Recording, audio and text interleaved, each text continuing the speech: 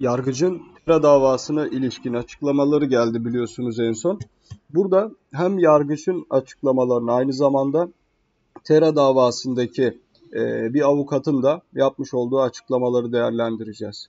Rakov. Yargıcın Tera davasında XRP hakkında söyledikleri aslında ne anlama geliyor? Ripple avukatı konuştu.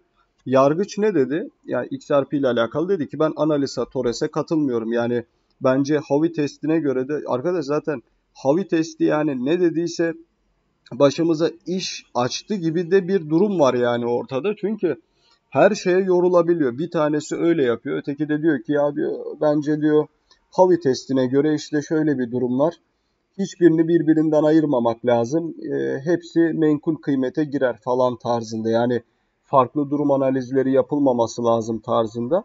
Bana biraz boş muhabbet gibi geliyor ama dolayısıyla Analisa Torres'e katılmıyorum demesi Tera bunu emsal gösterilmesini istemişti yargıç karşısında. Yargıç da dedi ki hayır işte borsalardaki satışı bence bu şekilde değildir. Yani borsalardaki satışı XRP'nin e, yatırım sözleşmesi kapsamına girer demeye getirdi. Yani.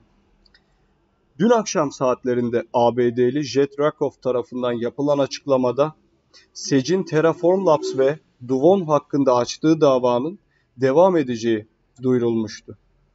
Rakoff açıklamasında ayrıca Ripple ile Sage arasındaki davaya da değinmiş ve bu davada yargıç Torres tarafından alınan ve XRP'nin borsalarda satıldığında menkul kıymet olmadığını ilan ettiği kararın yanlış olduğunu savunmuştu. Rakoff, borsalar veya kurumsal satışlar arasında menkul kıymet olma açısından bir fark bulunmadığını söylemişti. Ya burada şuna da dikkat çekmek lazım. Tabi bakın işte yasaların olması gerekliliği buradan kaynaklanıyor. Tamam mı? Buradan şunu anlamak lazım. Eğer ki Ripple davasına Ripple davasına bu yargıç değil de işte o yargıç değil de bu yargıç baksa imiş Ripple bugün kaybedecekmiş mesela. Halbuki bu e, tamamen şey herhangi bir tanesi olabilir yani. Sonuçta e, devlet bunu atıyor. Tamam mı? Daha doğrusu yargı sistemi içerisinde atanıyor.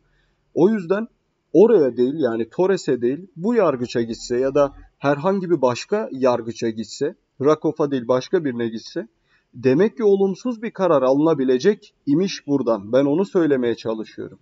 Anlatabildim mi? O yüzden yasa bu kadar gerekli, bu kadar lazım. Net bir çerçeve yok. Adam diyor ki yok, hayır.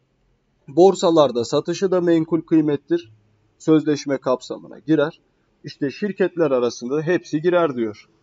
Bir kripto para avukatı ve eski CFTC çalışanı olan Mike Selick, Twitter'da yargıç Rakoff'un kararının SEC için kötü olduğu ve kripto para dünyasında netlik için neden yasaya ihtiyaç duyulduğunu gösterdiği yorumunda bulundu. Ee, şimdi şöyle bir şey var. SEC için kötü bir durum değil bu pek. Ben size söyleyeyim yani SEC için neden kötü olsun? Selig ayrıca Rakoff'un kararında kripto paraların yatırım sözleşmesi olmadığını söylediğini ve bunun da SEC için kötü olduğunu savundu diyor.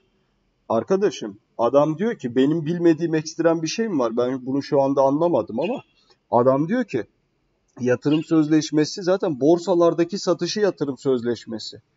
E şimdi ne yapacağız? Bütün e, satış sistemi mi değişecek yani? Ben onu anlamadım. Kriptolar açısından bunun olumlu olan, SEC için olumsuz olan tarafı tam olarak neresi olduğunu ben anlamadım yani. Selig ayrıca yargıç Rakoff'un kripto varlıkların birincil ve ikincil satışlar arasında ayrım yapmadığına ve bunun token satışlarını içeren diğer davalar için etkileri olabileceğine dikkat çekti. Doğru, e, etkileyici, e, etkileri tabii ki olabilir. Ripple baş hukuk sorumlusu Stuart Alderoty, yargıç Rakoff'un kararını değerlendirdi. Gereksiz, kafa karıştırıcı, bağlayıcı değil. Evet, e, aslında kafa karıştırıcı değil, bağlayıcı da. Yani o yüzden Alderoty e, tam olarak bence mantıklı bir eleştiri yapmamış. Hani normalde e, ka, şey yani kafa karıştırıcı değil. Çünkü adam mesela çok net bir söylemde bulunuyor. E, bağlayıcılık açısından da aynı şekilde. Ama doğru bir şey söylemiyor. Söylediği şeyler yanlış yani. Tamam mı?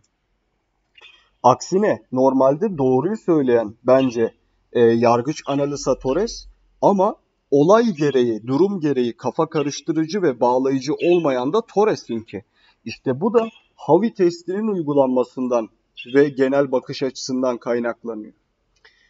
Ripple'ın baş hukuk sorumlusu Stuart Alderoty de Twitter'da karara tepki göstererek kararda Ripple'ın davasını desteklediğini söylediği bazı noktaların altını çizdi. Alderoty de Rakoff'un yaptığı açıklamasında kripto paraların menkul kıymet olmadığını söylemesine dikkat çekti. Ayrıca bir token'ın yatırım sözleşmesi olması için sözleşme tarafları arasında bir anlaşma olması gerektiğini ve diğer haklar ve vaatlerle birbirine karıştırılmamış tokenların tek başına menkul kıymet olmadığını söyledi. Alderoty, yargıç Rakoff'un Ripple kararına ilişkin yorumunun gereksiz, kafa karıştırıcı ve bakın burayı tekrar okuyorum. Alderoty, yargıç Rakoff'un Ripple kararına ilişkin yorumunun evet gereksiz, kafa karıştırıcı ve bağlayıcı olmadığını da sözlerine ekledi.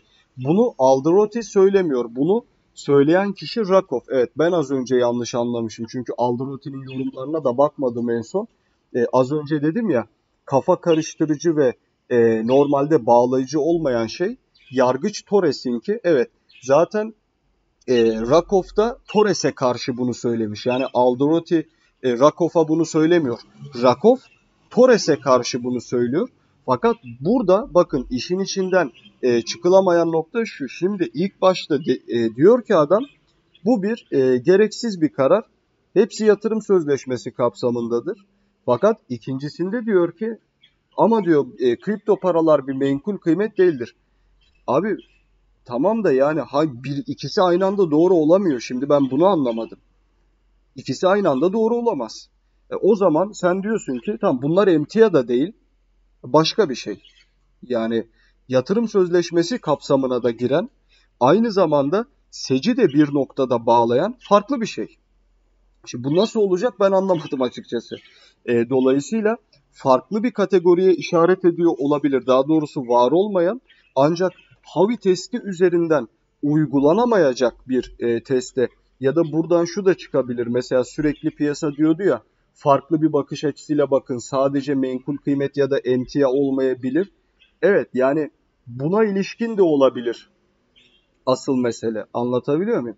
Bakalım ya henüz çok bir şey söylemediği için e, Rakoff'un söylediği şeyler de biraz her noktaya çekilebilecek e, durumu kapsamaktadır. İzlediğiniz için teşekkür ediyorum. Abone olup videoyu da beğenebilirsiniz. Bol kazançlar dilerim herkese. Hoşça kalın.